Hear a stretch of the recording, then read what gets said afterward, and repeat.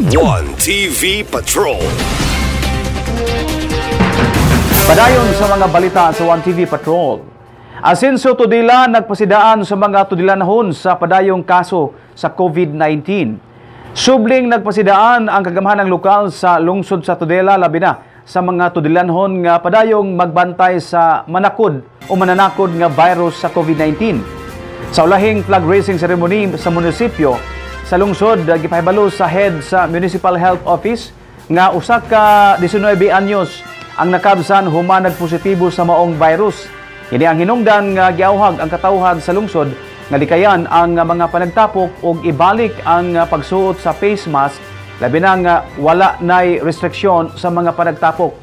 Nasayod ang katawhan kung unsa kadelikado mat- mutakboy sa lawas sa tao ang virus labi na kung hinay ang immune system.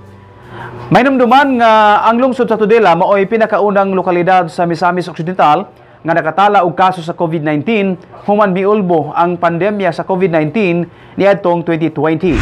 May buntag staan. May buntag sa Ah, matawag na kung yung masamang balita. Kaya ang tulila, perminte yun nga nag number one.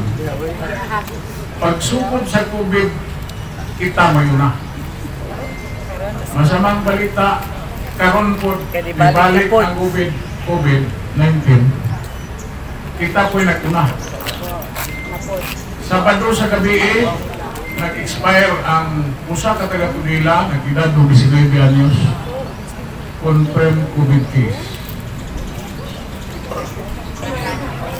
Usa, kita atong ipambit sa itong mga kaparentihan nga maghinay-hinay taglikay ang mga nagtapok-tapok. Kung mahimo, dili pa man nato i-require, kung mahimo, protektahan na ito itong kagalingon, magsulong sa tagmas. Balik na sa tag. TV Patrol. One TV Patrol. One TV Patrol. One TV Patrol.